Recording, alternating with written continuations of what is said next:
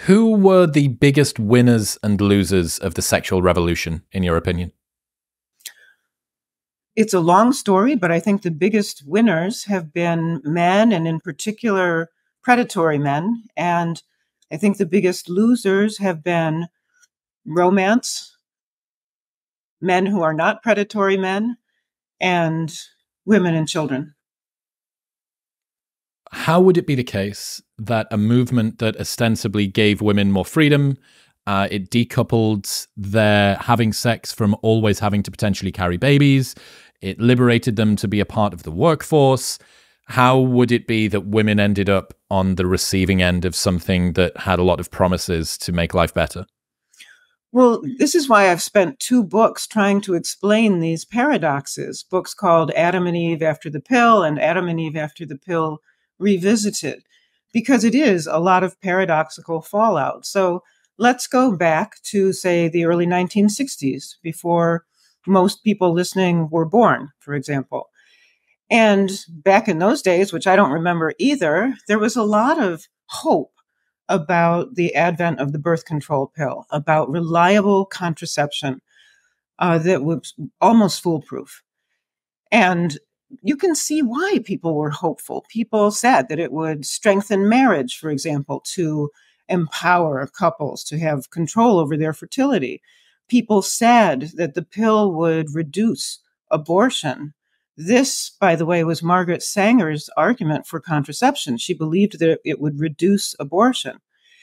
And so, despite all of these hopes, the opposite seemed to happen. So, within a few years of the adoption of widespread hormonal contraception, instead of strengthening marriage, what we saw was a sharp rise in divorce rates later in cohabitation. Instead of the pill and company reducing abortion, abortion rates skyrocketed um, into the millions within a few years of this same cultural change. So, what I'm trying to do in my research is piece together why this happened. And I'm doing it with the help of uh, perfectly secular sources. These are not books of theology you don't have to believe anything about religion to understand the arguments of the books. And I think that's important to establish because this kind of talk about what happened after the birth control pill, what did the sexual revolution really do, tends to get confined to a religious ghetto. And I think it's important that people understand that the, the reality is upon us, whatever you believe. You can be an atheist, you can be a devout Muslim, you can be anything you want, but you still have to understand that the effects of this revolution have been epic and in more areas than one. Okay, let's talk about abortion then. How does contraception reduce or increase abortions? What what are the outcomes of introducing it? It does not reduce abortion. Contraception increases abortion by changing intentionality. And this is something else that has been well studied and uh, that I talk about in the footnotes to these books. But essentially, what contraception does is make pregnancy a woman's problem. And this is the big cultural change that we see. Back before there was reliable contraception, uh, it was assumed that an unplanned pregnancy was a problem for two people and that they had to figure out what to do about it. The man was expected to bear some responsibility. But once women are contracepting en masse, clearly a pregnancy is a, a quote failure uh, that is her fault, her responsibility. I, am not defending that outlook. I'm explaining the, the change in thinking that resulted once contraception became unremarkable. And that's where abortion comes in. Or to put it another way, uh, the uh, the adoption of contraception effectively ended the so-called shotgun wedding. I assume that's an American phrase. I think people it, will, people will know what that is, right? You... It's, it's, it's intuitively obvious, right? Yeah. The dad and the brothers show up at the boyfriend's house and say, "Marry the girl or else." And once again, after the 1960s, that phrase uh, became antiquarian, which tells you something interesting, I think. It tells you that expectations were radically changed. Now, the effect this has had on men is something else that we ought to talk about. I rely here on the work of a sociologist named Lionel Tiger, who wrote a book in 1999 called The Decline of Males. And once again, Tiger is not a religious thinker. He even said that he regarded religion as toxic. But what he was trying to understand was what the sexual revolution did to men, because he argued once women have sole control uh, over reproduction, men are essentially sidelined and pretty useless, frankly. So, decades before everyone was talking about the crisis of men in our time, this sociologist, Tiger, was seeing it very clearly and prophetically, I think.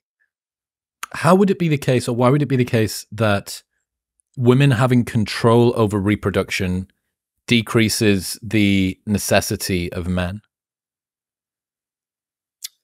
Because it reduces their role as protectors, as fathers. It, says to the world what the message that the sexual revolution has sent to the world, which is autonomy is all that counts. And so suddenly you have this radical cultural message, which I believe most people in our time have adopted, that sidelines the traditional family, that takes away from men what some of us believe is the grandeur of being a, a, provider and a protector. And this is why we have seen single parent homes, that is to say, fatherless homes, proliferate because the social approbation for the traditional male role is missing and has gone missing because of the sexual revolution. Okay, so you get an increase in abortions, you get an increase in out of wedlock births. You get an increase in single parent households, which are almost exclusively mother, single mother households, fatherless homes. Men don't have the same protector provider uh, glory, perhaps, that would have previously been bestowed on them. Is there, because obviously we're talking about sexual revolution and contraception here, what happens is there such a thing as a sexual revolution without the introduction of the contraception pill? Could you could you imagine what that would look like? People argue over definitions of the sexual revolution, but I think this one is pretty uncontroversial. The sexual revolution begins in the 1960s with the approval of the birth control pill, which is then quickly adopted across the Western world. We're not just talking about the United States. And the effect of that is to destigmatize non marital sex because the pill becomes like uh, something that everybody wants to have.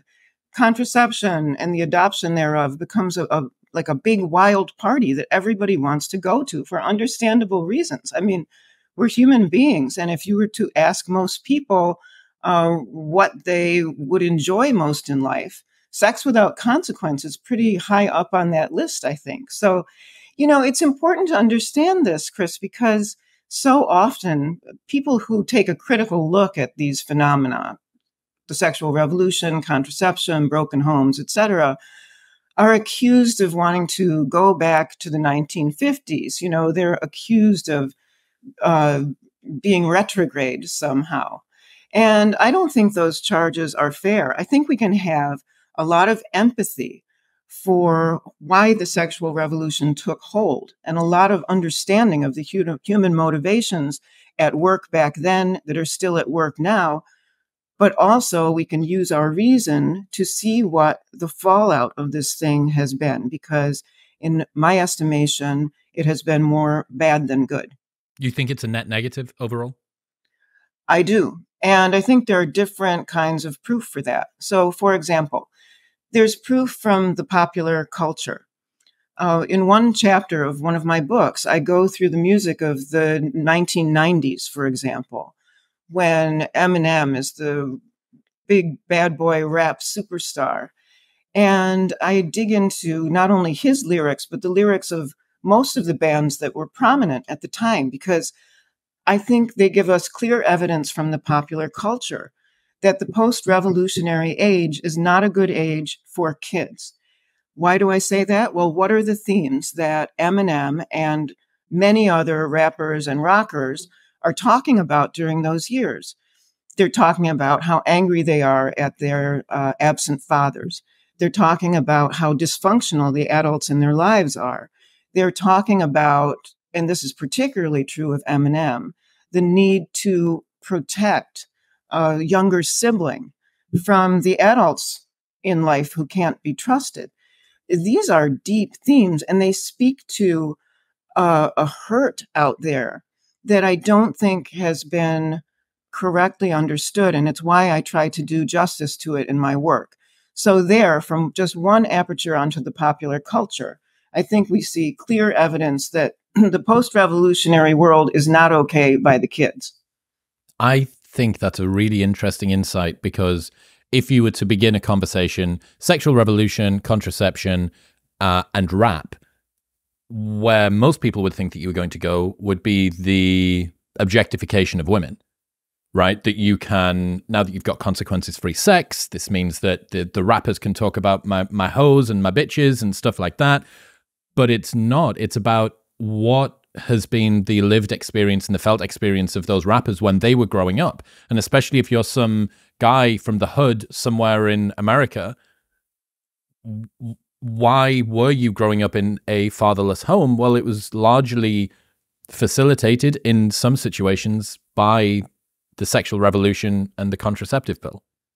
Yeah, I mean, the misogyny is there. There's no sugarcoating that. But I'm trying to look deeper into this genre of music. So, for example, let's look at a song by Tupac Shakur uh, called Papa's Song. It was one of his most popular. And it is one of the saddest set of lyrics I've ever seen. It's about a boy trying to play catch by himself. That's what the song is about. And it's addressed uh, to his father by apotheosis.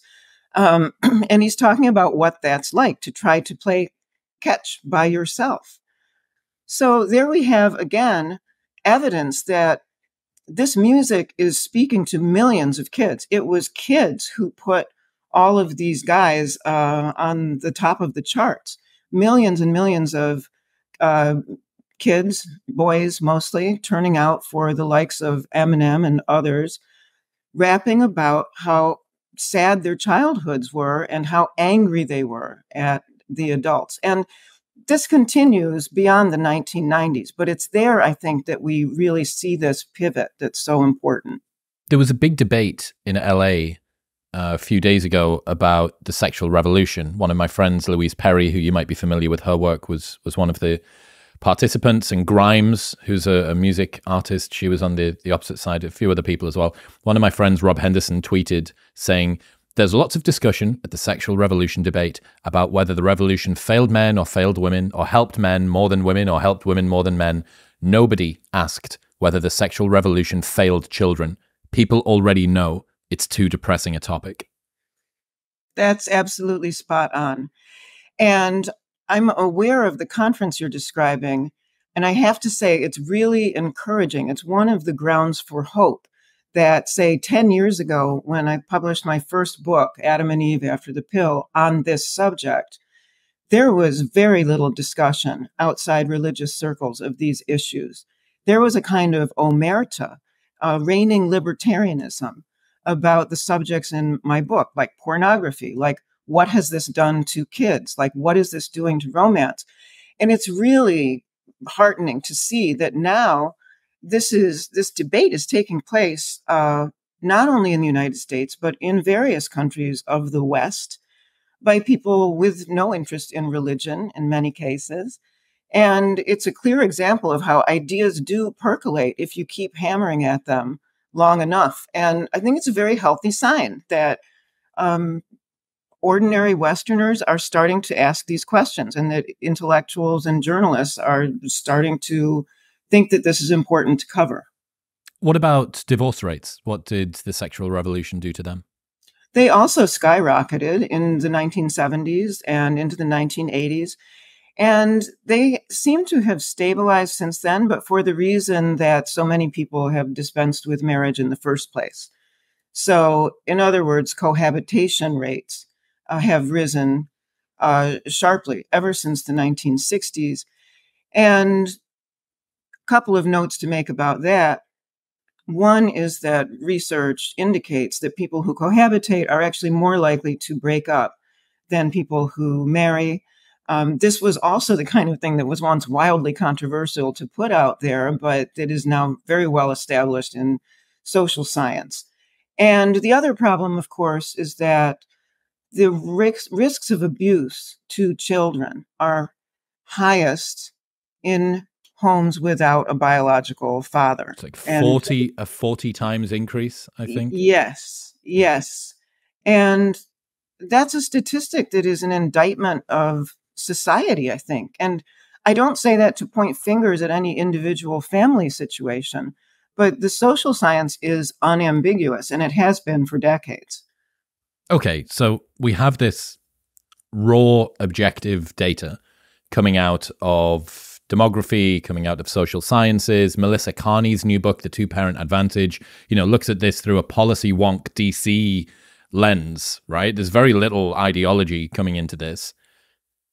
How is it the case that the debate and the discussion around this is so fraught a topic? Why is the truth or why was the truth about the sexual revolution and the contraceptive pill being repressed. Uh, how does this sort of fold into culture and, and, and why this discussion has been so abhorred? Well, once again, getting back to that image of the, the wild party that was started by the sexual revolution, to continue the metaphor, I think we're at the point where it's two in the morning and the party is out of control and everybody knows it but nobody wants to be the first one to snitch, right? Nobody wants to be the first one to call the police or the ambulance or whatever it is that the party needs at this point. Again, I think that former omerta has been broken, and I'm very happy to see that that it is. Um, that's a good thing. So I understand that first order happiness uh, satisfaction, like immediate gratification of our base desires. I want to have sex. I don't want anybody to tell me that it's immoral or unethical or whatever. And I would like to not use a condom and I would like so on and so forth, right? But if the outcomes are genuinely negative for women, I would have presumed that this would have been, you know, the campaign for feminists to have been flying the flag for. Like this should have been ground zero for feminists that are looking at the data who want the best for women in terms of outcomes. What, why, why is this not, you know, the why is this not the front vanguard of fourth wave feminism? I think feminism took a, a wrong turn a long time ago after the 1960s and stopped putting women first in that sense. So let me give you an example. Um, another thing I talk about in the books is pornography and the effects of pornography on human relationships and the relation of re- relationship between pornography and the sexual revolution. Now, back in the 1960s, even into the 1970s, there were feminists who said, "You know what? This stuff is is bad. This smut is bad for human relationships. Uh, we should be against it. It objectifies women. Um, and you could hear those voices, including some pretty radical feminists. It all seemed to go away. Feminism seemed to buy into a kind of libertarianism uh, that benefited men. And so by the 1980s and 1990s, Instead, you hear feminist voices de- defending pornography as a, a woman's right and something that no one has a right to question. And this is a sea change that I think tells us a lot about what happened when feminism stopped putting women first. Now I think we're seeing another course correction here. And I think there are feminist voices asking about whether pornography is okay or giving women permission to be against this thing. But of course, it's not just that pornography is bad for women, it's bad for romance, which means it's bad for both sexes. What's the what is the legitimate feminist case against pornography or OnlyFans or something like that? Why shouldn't it be the case that a woman can be completely liberated with her sexuality as much as possible? Surely this was the the role of the sexual revolution was to remove the constraints to allow women to fully be whatever they wanted. Uh, unlimited freedom is a good thing, no?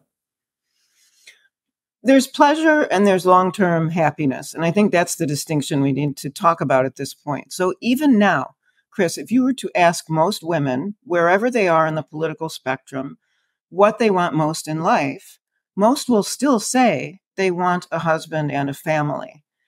And the problem is that the revolution made these things a lot harder to get because when the sexual marketplace is flooded with potentially available partners, um, it makes it, it reduces the incentives for men to settle down with any single partner.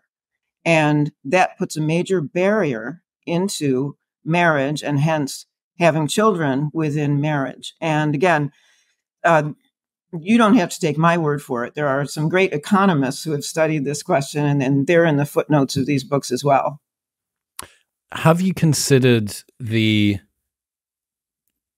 reduction in the standards that men will meet in order to get sex if sex is more easily available to them. So if if a man in order to be able to get access to sex needs to be an upstanding member of society with a good job and he needs to be well known in the local community, he needs to attend church, he needs to you know ask the father of the daughter before he can get down on one knee like the the, mo- the the hardest gatekeeper in her entire life he needs to somehow get past him. Then he needs to get down on one knee. Perhaps there's a dowry. Perhaps uh, you know all the then there's a ceremony and all of the people come and then finally finally he gets to have sex right? That required men to meet a pretty thorough set of criteria, right? There's a lot of hoops that you need to jump through. This isn't to say that all men that got married before 1950 were like upstanding citizens, but there's a lot more to happen. If the alternative is you need to be in the right place at the right time at 3 a.m. in a nightclub, men will meet those standards appropriately. And the listlessness of men and the dearth of eligible male partners that women complain, you know, where are all of the good men at is a, a huge meta meme that, that women talk about. Uh, you know, if men can get sex without investing in themselves to get themselves to the standard that previously would have been held for them in order to have got sex, which have included the father's hand in marriage, the marriage, the ceremony, the house, the, all the rest of this stuff, I think that it seems to me the reduction in men's standards, the, the standard that they take themselves to, can be laid at at least partly at the feet of the reduction in what women ask in order for men to be able to get access to sex. Yeah, that's a very interesting point. I think there's been a lowering of the standards for both sexes, but I think the biggest problem here is that um, men are not being given their due. Frankly, they're not being given things to live up to and strive for including the privilege of protecting a, a, woman and children. The idea that that's even a privilege is dangerously close to being lost in our culture.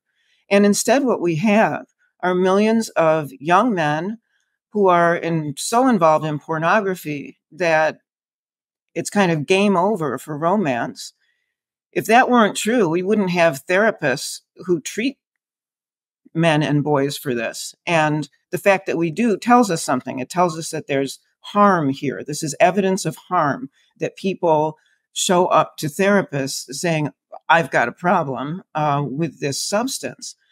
Um, so, again, part of what I'm trying to do here is just change the terms of debate so that it's not about exhorting people, it's not about beating people up for being bad. It's about trying to honor the the misery and the suffering that underlies statistics like that about pornography use or about uh, the rise in female unhappiness over the past couple of decades. Yeah, we're hearing an awful lot about the psychological fragility of young people, especially young girls. Where do you think that's coming from? I think social media, as many have pointed out, is throwing gasoline on a fire that's already raging. And I think the fire that's already raging is about what I call human subtraction. So let me walk through this. What really did the sexual revolution do? It subtracted people out of other people's lives, whether by abortion, by family breakup, fatherlessness, family shrinkage. All of these are acts of subtraction. And what they mean is that, for example, a 20 year old today has many fewer people on average to whom he is related, whether in nuclear family or extended family. Many kids are growing up as only children. Many kids don't have a sibling of the opposite sex or a father in the home. Now, why does this matter? It matters because we are social creatures. We are like other animals. We learn by observing others of our kind. And I think what we've done is radically reduced the number of people from whom we can learn elementary lessons like what is the opposite sex like uh, without going to the internet to find out.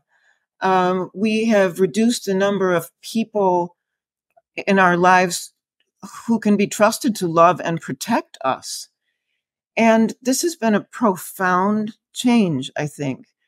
And I believe it is reflected in the rising rates of psychiatric trouble with kids, which actually predates the internet. This is something I've been writing about for 20 years now because it's at least 20 years since the rise in anxiety and depression and other problems among adolescents was well established.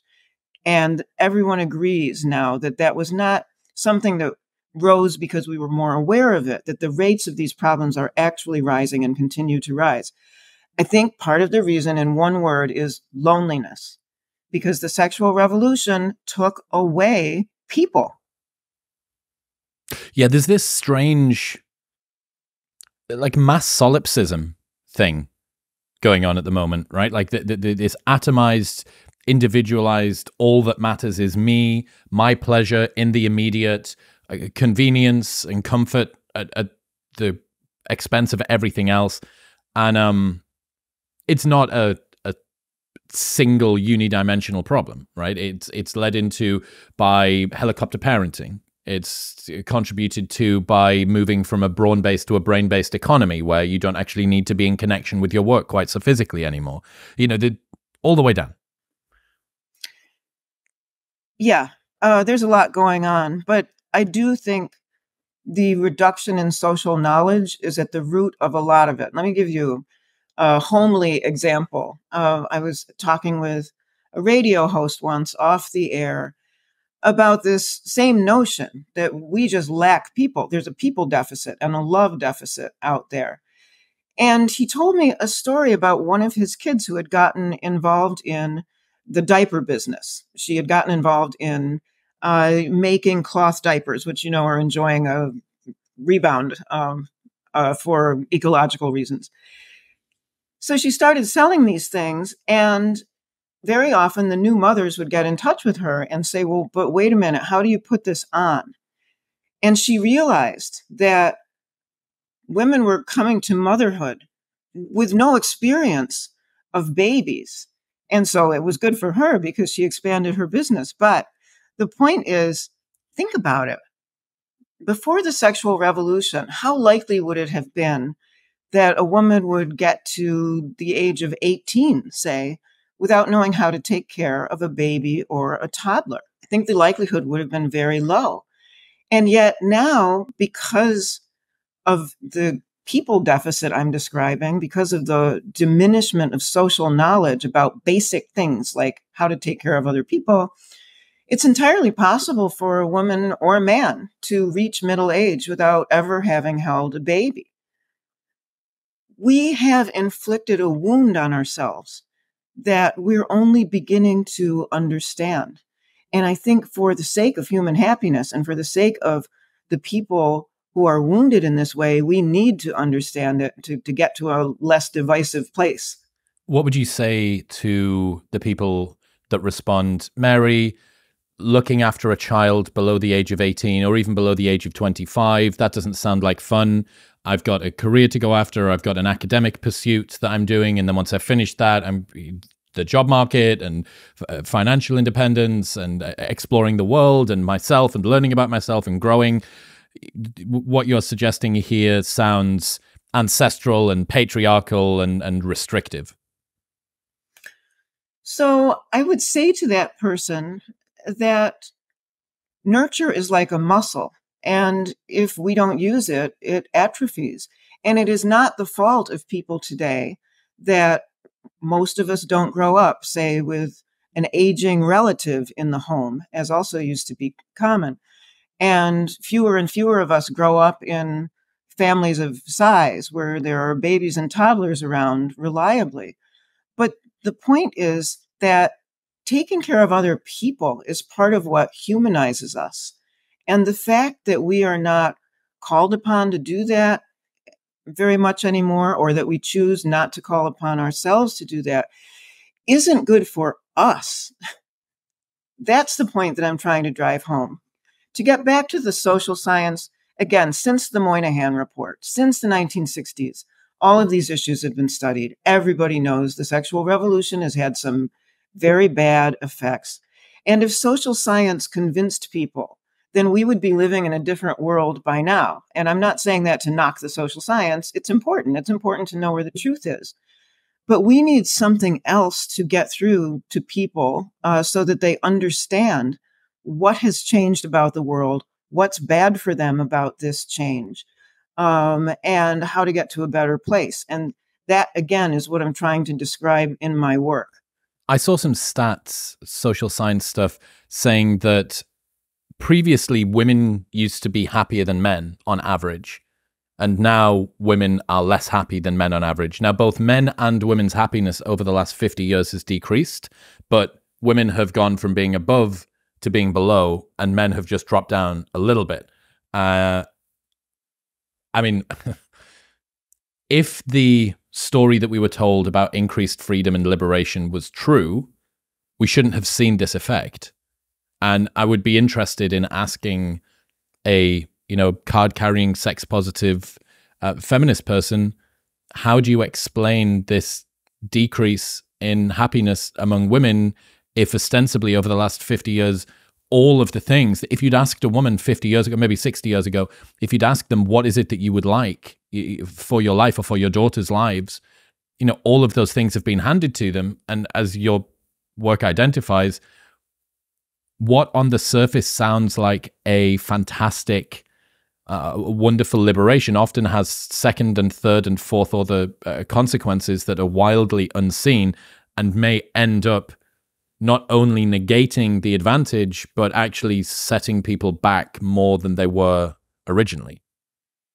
Again, back to that distinction between pleasure and happiness. So, the technological shock of reliable contraception for women made pleasure much easier to attain for both sexes. Um, three in the morning in the club kind of pleasure, as you put it. Uh, but simultaneously, it made long term fulfillment more difficult to secure. And that's the biggest paradox that we are living with. How do you change expectations when they've become so ingrained? You know, it won't be long before nobody alive remembers life before the sexual revolution. I don't. Um, and I'm not, again, not saying let's go back to some golden age. There's no such thing as a golden age. But we need to recover the truth that radical autonomy is not in our best interests any more than it's in the best interests of, say, elephants or dolphins or other mammals. Um, we are social creatures like they are. And the ironic thing, Chris, is that if we look at other species, we understand very well that they need each other those horrible experiments on the rhesus monkeys, separating the babies from the mothers, showing how dysfunctional the babies became when they were separated from their own kind. You know, this kind of thing makes sense to us. And we look back on that and think, oh, that was a horrible thing to do to the monkeys. Just as we think now, it was a horrible thing for circuses, say, to take individual elephants and separate them from their families. And so we don't do that anymore. The ironic thing is, we don't seem to be able to hold the mirror up to ourselves and to see that we are running that same kind of radical experiment on Homo sapiens. Yeah, I mean, think about when you uh, the videos of zoos where the pen is way too small for the animal and it's not able to roam around and it's not got fresh air and it's in the corner doing a very sort of strange compulsive behavior like tell me how different that is to somebody living in a box apartment somewhere in some unforgiving cosmopolitan city swiping through TikTok. Like it is the same thing right? It's not a screen addiction that people have it's a screen compulsion that they have. And uh, one uh, interesting point we were talking about sort of romance and the uh, socializing effect that uh, helps people to become better communicators more generally when you're around family members. I just thought about something. This is me bro sciencing in real time here, so you might need to give me a little bit of a little bit of rope. One of my friends who's very successful with women said that the best advice that he could give any young guy who wants to be successful with women is have lots of female friends when you're in your teenage years because it's low stakes communication. It teaches you how to communicate with the other the other sex. It you're not trying to do anything, so there's no such thing really as failure other than the natural sort of highs and lows of friendship and, and coming and going and falls out and all the rest of it. I wonder if a uh, extended family pan generational homestead style situation that would have been at least post agricultural revolution for a good chunk of time or pre agricultural revolution in terms of tribes, you're, you're not going to have sex with your sister. You're not probably going to have sex with your cousins. So, what it creates there is almost this precise scenario of training wheels for males and females as they grow up to learn how to communicate with the other sex. Very low stakes, no expectation. Doesn't really matter if you get it wrong because they're family. They've kind of got to love you in any case. And then by the time that you get to the stage where you do actually need to communicate with somebody who is outside of your own gene pool, you've accumulated enough background and, and skills that you can actually maybe make it work. What do you think about my my bro science theory? I think that's absolutely spot on. Nailed it. Yeah, go Chris. Yes. It's how we used to learn about each other. We'd have multiple examples of the other sex in our families and extended families, and that would teach us something. I think part of the belligerent rhetoric of contemporary feminism is actually covering up a fear, a fear and an insecurity that is coming about because a lot of women don't know much about men anymore. They haven't had that experience in the home. And I'm not saying that's the only place fearfulness comes from. There are, of course, threats, uh, real threats. But similarly, I think a lot of what we see, I think, especially online, this animosity toward women, sometimes coming from the bros, you know, this sort of uh, um, phenomenon of the hose and whatever they're called, this reflexive misogyny. Again, I think some of that is also coming from the same place, which is ignorance of the opposite sex, just not understanding the first thing about what it's like to deal with the opposite sex and trying to cover it up. In the case of men, with this kind of um, cheap misogyny, this free floating misogyny, and in the case of women, with this kind of belligerent feminism that apes male tropes and insists on a kind of toughness to cover up the fact that people are insecure. This goes back to talking about the, the teenagers and the, you know, 20 somethings out there who really seem clueless. Um, and it's not their fault part of what I'm trying to do here is give people permission to understand that their misery, their loneliness is not of their making. Mm. And it's not as if we can point backwards in time and finger the real culprits. There are some names that come to mind. Um, Hugh Hefner would be one, for example. Helen Gurley Brown didn't help. Uh, there are more. But the point is, this was not an intentional plot. We did something to ourselves, not understanding how serious it would be. And that's what we have to face now. Yeah, I love it. I love it. I'm thinking an awful lot about reducing the adversarial nature between the sexes, right? That there is an anti mating, mating culture at the moment. Uh, men and women are enemies. They are resources to be extracted from. They are enemies to be avoided entirely or to be used and discarded.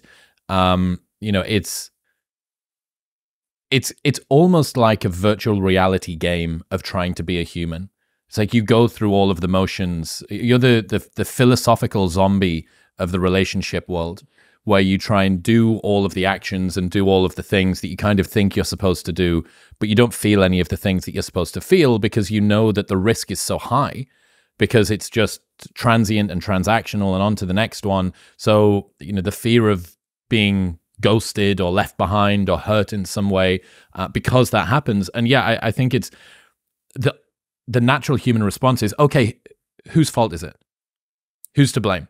Who can we hang, draw, and quarter so that we can say, ah, yeah, it was this, it was this particular person. You know, the scapegoating rally around whoever it is that got it wrong. But telling people that from first principles, think you are in the 1960s and you have this world changing uh, technological innovation that was the contraceptive pill. You have a time where women want to not be beholden financially to their husband anymore. They don't want to have to stay in abusive or terrible marriages simply because they're going to be out on the street with two and a half children and a dog if they if they don't stay with their partner that beats them or, or doesn't care about them or is you know is awful or whatever it might be. And you're given this technology that on the face of it allows women to be liberated from situations in which they would have had it would have been it would have been bad. It would have been terrible for them. And this means that we can get into university. This means that we can have parity in terms of pay. This means that we can have parity in terms of socioeconomic status. All of those things. Here is the freedom. Like that's a really really fantastic deal and very very few people if anyone had been able to see the second and third order effects of this they're a genius. They're a clairvoyant super genius, right? With with astral realm abilities. And yet, you can look back on it and say, we couldn't predict this. Downstream, it's caused some effects that nobody expected to happen. And it's almost it's almost a little bit like the uh the gambler chasing his losses that mm. we we thought that this was going to be good and accepting that it's not potentially opens up a whole world of of difficult conversations and uh yeah right now the change in culture that i'm seeing is not this like card carrying, like you say, it's not coming from a religious uh, uh, standpoint. It's not tradcon, like hard right conservatives trying to take women out of the boardroom and put them back in the kitchen. It's just saying, look at what's happened with overall happiness. Let's see if this is genuinely right for what people want in life, which is fulfillment, connection, health, longevity, family that cares about them. So, an analogy that comes to mind based on what you were just saying, is tobacco smoking. Because you could say the same thing about tobacco smoking that we've said about the sexual revolution. When that all started, nobody could have seen what was coming. In other words, tobacco smoking was ubiquitous across the Western world, and that was true for a long time. And I can actually remember as a kid seeing people smoke in hospitals that's probably not something you remember, but it was that common. What was the thing? Uh, doctors smoke camels? that sounds right. I mean, you shouldn't do it near an oxygen machine, but it was that common. Yeah. So, what happened here? We don't see that anymore. You can't smoke indoors uh, practically anywhere. There's been an enormous change in stigma. Stigma got attached to this substance somehow. How did that happen? And it happened because there was an accumulation over half a century of evidence that this substance, tobacco, could cause harm. And there was a lot of resistance to that message. Nobody wanted to hear it, especially if you smoked. You certainly didn't want to hear that this was bad for you. But little by little, the accumulation of evidence and research made a dent. And again, not just in one country, but across the Western world and across the non Western world, this substance has been made uh, less ubiquitous. And people smoke a lot less than they used to. So, my point is, we might be at the very beginning of the equivalent of the Surgeon General's report. We might be at the very beginning of people pushing back and saying, look, there's evidence that we are harming ourselves through no fault of our own, and we need to get a little more of a balance here. We need to get back to some kind of normal that isn't the normal that we have. And so maybe 50 years from now, all of this will look different. Talk to me about how, in such a sex positive world, so many people seem to be checking out of mating altogether right now. There's basically a widespread stigmatization of traditional sexual morality. Yes, and there's a widespread destigmatization of all forms of sexual behavior uh, apart from marriage. It is kind of interesting. So, what does sex positivity have to do with this? Again, I think if you have to resort to a term like sex positivity, you're protesting too much. Like, what are you not getting about this? Why do you need to make some public statement about something that up until, say, the 1960s, people thought was ordinary, normal behavior? So that's what I'm hearing and what you're saying is that the fact that we have words like that, sex positivity, to make us feel good about ourselves, uh, tells me again that there's a lot of disconnection out there uh, uh, of the at the most fundamental level. Yeah, I wouldn't disagree. Whatever you, whatever nomenclature you want to give to it, there is a, a, sex is front and center of an awful lot. You know, even girl advice magazines, how to sleep with him and not catch feels.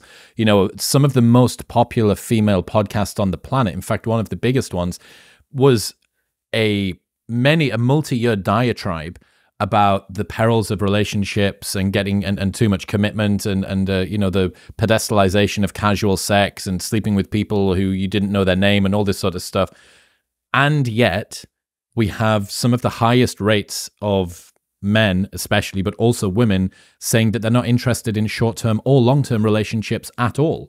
And this to me seems to be a, another paradox.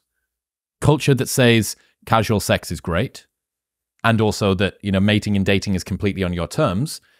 So there's never been more different ways that you can do mating. And yet there's never been so many people electing to check out of mating altogether. How does that how do you square this circle? Yeah when i hear what you're describing women talking about how great it is to be as free for casual sex as men I find that very sad because what I'm hearing in that is Stockholm syndrome.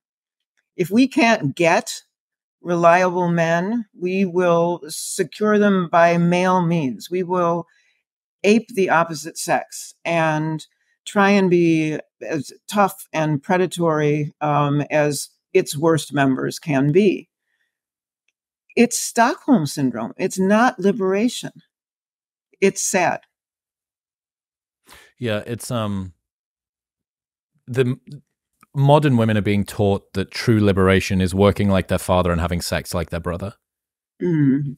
And I mean, you know, I don't know how powerful the patriarchy is, but it may very well have managed to convince women that they can not only be the breadwinner for the relationship while the husband stays at home and plays Xbox, but that they can also give up str- no strings attached sex to men that either don't care about them or maybe even actively dislike them. So maybe the patriarchy is is in charge all along. I don't know.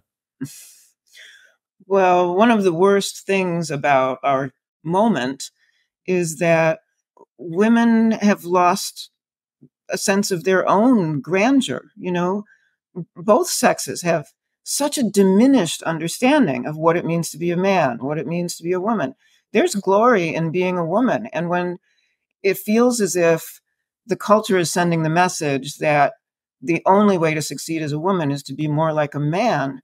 We are getting something really wrong here. And we are, ironically, disempowering people. There's glory in marriage, there's glory in motherhood. Those are not statements of nostalgia.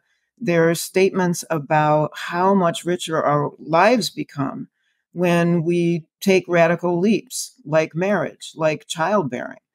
And the excitement of that, the, the glamour of that, frankly, is lost on people. We need to bring it back. How is the sexual revolution related to identity politics? So here's an interesting fact, I think. The first use of that phrase, identity politics, comes about in 1977. It appears in a manifesto by radical African American feminists called the Combahee River Collective. And in this document, which again is one of the documents that points to the sadness of the years after the 60s, these women declare that they are giving up on men. They are giving up on the men in their lives. The, the words fathers and brothers do not even appear in this statement. The statement is all about how we can only trust people who are just like us in our victimhood to understand ourselves. Uh, we can only trust those people to have our back. Now, why is that interesting? Well, first of all, because 1977 is just as the young adults uh, born into the revolution are starting to come of age. And what do we see? We see a kind of shattering, and we see uh, what becomes the first episode in identity politics. So let's fast forward a few decades. Now we're surrounded by identity politics. Um, everybody is a victim, everybody joins a group, everybody um, involved in this kind of politics treats their group in the way that, say, the family used to be treated. This is my chosen family. Uh, whether it's LGBTQ or something based on race or ethnicity or whatever the grouping is, they all share this common denominator of having their political identity become a substitute for what I think were the old ways of establishing identity. What would those be? Well, first of all, people lived in families. What was your identity? I'm a mother, I'm an aunt, I'm a cousin, I'm a sister, etc., etc. Again, thanks to the shrinkage of the family, that kind of answer is off the table for many people. They can't answer that question, who am I, by pointing to their relationships within a family. It's it's too complicated. What if I have step siblings and half siblings and my father's on his third divorce? It's complicated. Um, what is not complicated is that this implosion of the family has left a lot of people disconnected and feeling in need of protection and wanting to attach to something. We're relational creatures. We have to attach to something. We can't actually live like autonomous electrons. And so the rise of identity politics, I think, directly parallels what we've been talking about, which is the implosion of the family, family networks, etc. Didn't you they become substitute families for people who don't have the real thing? Yeah, I mean, the human draw toward tribalism is so great that you will just start constructing arbitrary tribes if you can't find one that seems to make sense. Yeah, and again, loneliness is the driver here. It's about not wanting to be lonely. It's about wanting to go online and have your vindication and the number of likes you get from your group for performing some uh, totemic act, if you will. Uh, it's about being rewarded and feeling loved and feeling all these things that we all want to feel in a time when many people don't seem to be feeling them in real life. And that's what's driving identity politics. And the problem with it is that it is deforming the politics of the Western world to have groups um, that are absolutist about other groups that are absolutist in stating that no one else outside the group can understand them. it's a problem.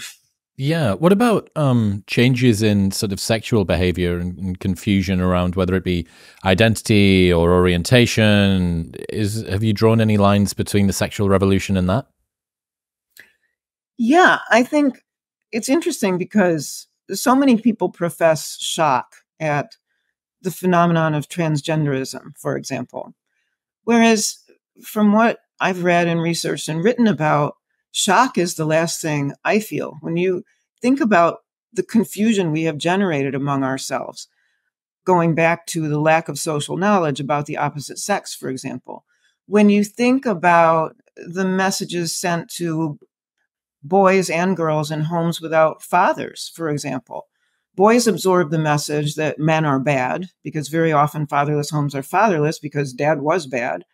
Um, and girls absorb the message that men are not to be trusted. So, where does that leave them? I think it leaves us with this weird incentive um, for the disconnected to gravitate toward an androgynous mean, to gravitate away from poles of, say, femininity and masculinity and toward something that doesn't look as scary as those things because uh, it's uh, more anodyne than those things. Just a theory.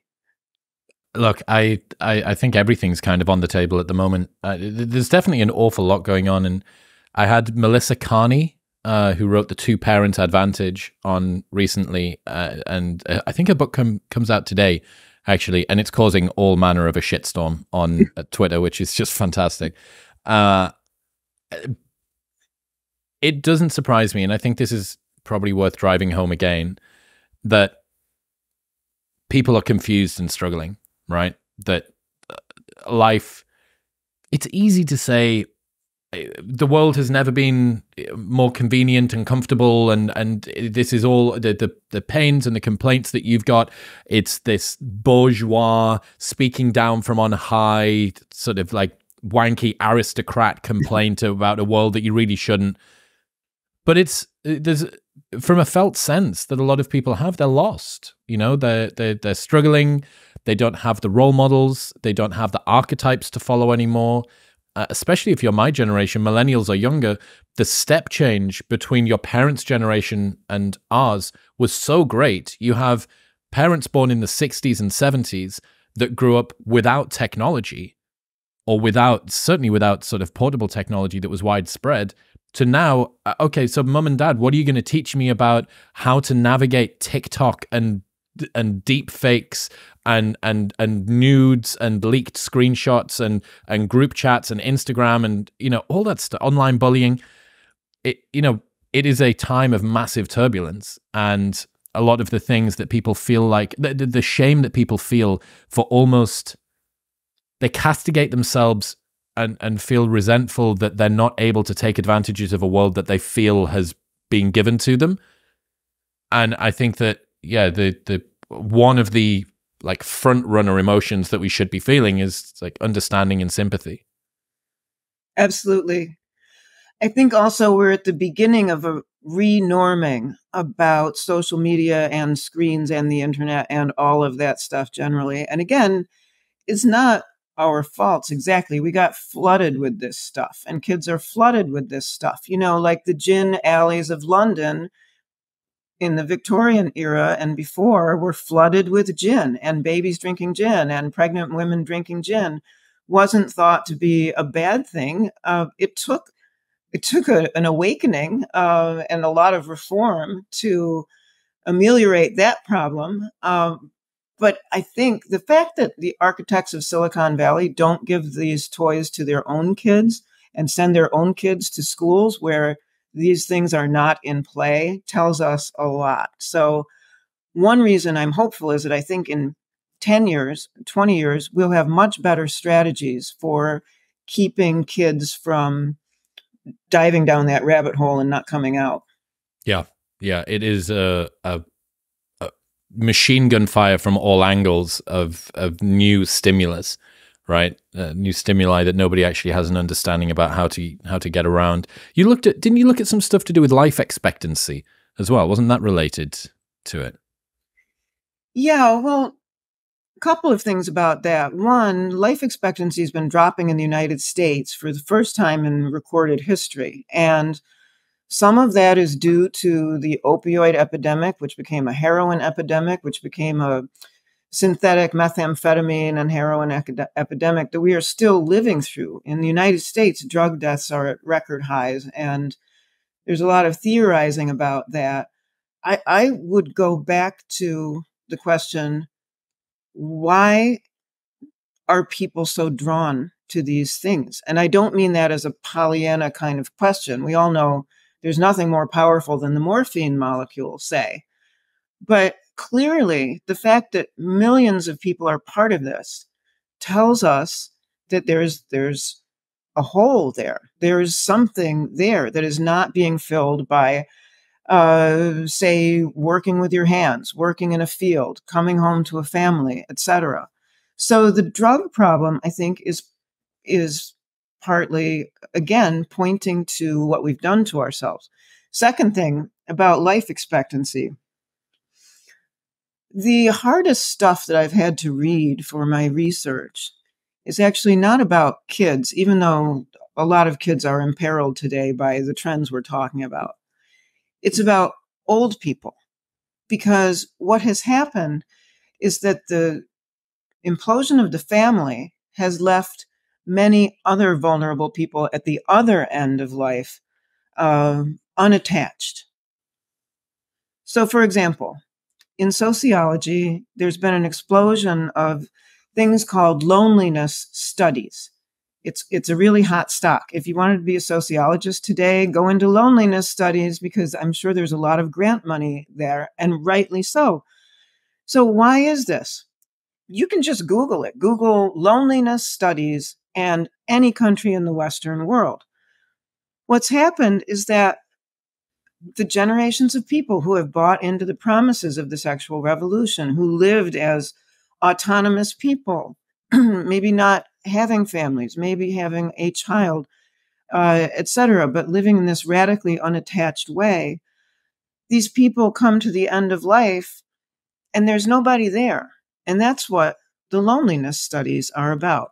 So again, clear evidence of harm is here. We didn't used to have studies like this. We didn't used to talk about the profound loneliness of people at the end of life. For example, uh, in Germany, I seem to remember from some study, uh, some incredible number of people over the age of 80 have not been called by their first name in the past month because there's no one around who knows them well enough to do that.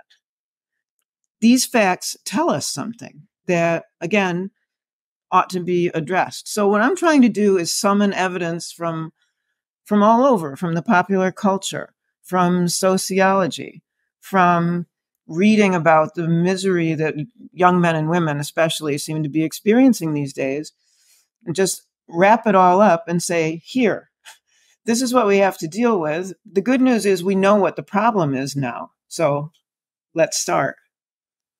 What does starting mean to you? In part, it means listening. And what I mean by that is that it's very easy to dismiss, say, young people, say, the millennials and the Zoomers as snowflakes, right? It's very easy to dismiss the sensitivities that come with identity politics. It's very easy to dismiss phenomena like students with their mouths duct taped shut marching around on campus and uh, retreating to safe spaces and otherwise behaving in these kind of retrograde ways, it's easy to mock that. We have a lot of people in public life who um, make a living off it. and I understand why. Um, because on the surface, on the surface, it looks ridiculous. What I'm saying is underneath that is suffering. And we need to understand where it's coming from. So the first thing to do to start fixing stuff uh, is to exercise our empathy muscles, which I think are pretty underutilized these days. Yeah. And to see the suffering people around us, whether we agree with them about other things or, or not, um, as victims in the proper sense. You know, the problem, Chris, is that these people aren't victims of the things that they've been taught they are victims of. They're not victims of, quote, the patriarchy or heteronormativity or other abstractions. Those are very abstract labels for what ails us. And so I don't respect them. Uh, they are victims of this phenomenon that started before most of us were born, uh, that has had the effect of producing a love deficit across the West, a people deficit. Yeah. It's hard to rally a angry mob holding placards against the love deficit though. Do you know what I mean? Or a technological revolution that happened 70 years ago. It's hard to rally an angry mob, period. um, well, it depends on evidence over the last three years or so. again, if facts were all it took to convince people that you and I are right about this, because I think we're on the same page about this, then people would have been convinced long ago.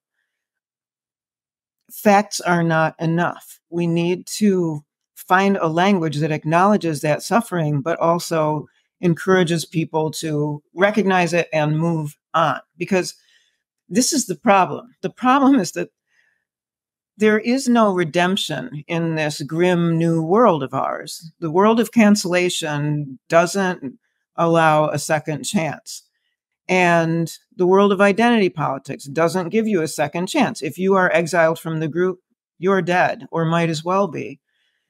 And perversely, this makes me hopeful too, because people don't really believe that there isn't redemption. Nobody wants to live in a world like that, right? We all make mistakes. We all need to come back from things. And so I think this the severity of the cancel culture, the severity of identity politics is proving already to be too much to bear. And it makes me hopeful that in five years, we'll be having a, a more reasonable conversation across the aisle about that stuff. That is a future that I would look forward to. Mary Eberstadt, ladies and gentlemen. Mary, I really appreciate you. I think that you've got a fantastic perspective on all of this stuff. Where should people go if they want to keep up to date with the stuff that you're doing? Thank you, Chris. I have a website, maryeberstadt.com, and my books and articles and speeches are there. And uh, the books are also on Amazon, of course. Mary, I appreciate you. Thank you. Thank you, Chris. If you enjoyed that episode, then press here for a selection of the best clips from the podcast over the last few weeks. And don't forget to subscribe.